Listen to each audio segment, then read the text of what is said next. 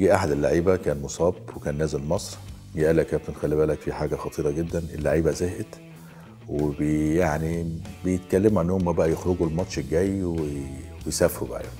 القعدة هناك كانت صعبة يعني. ففي مواقف زي دي كنت لازم توصلها للمدير الفني. فرحت قلت لكابتن جوهر قلت له يا كابتن في مشكلة خطيرة في كذا كذا كذا كذا. راح التمرين أنا شايفه بقى مش مظبوط كده. هما على العشاء برضو قال لهم في في خبرين آه، واحد كويس وواحد وحش. نبتدي بإيه؟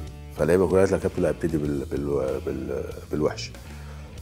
فقال لهم أنا بعت سمير عدلي لمكتب الطيران عشان يحجز اللي بيحجز بعد كل دور يعني على أساس يعني لو لا قدر الله. فراح لشركات الطيران كلها ما فيش حجز غير واحد في الشهر. واحد في الشهر ده اللي هو يوم الإيه؟ النهائي. تمام؟ واحد في الشهر بالليل. فكده وكده إحنا قاعدين. فما ينفعش ان إحنا نقعد كده والناس بتلعب حوالينا وبتاع كده وكده إحنا قاعدين بدل ما نقضيها تمرين ولا بتاع يبقى راحت اللعيبة إيه اللي عمل كده وال قالوا طب الخبر حلو. كان حسام حسن بقى كابتن منتخب قال له اتصل بيا آه رئاسة الجمهورية وقالت في حالة فوزكم بالبطولة ليكوا مبلغ كويس قوي كذا كذا كذا.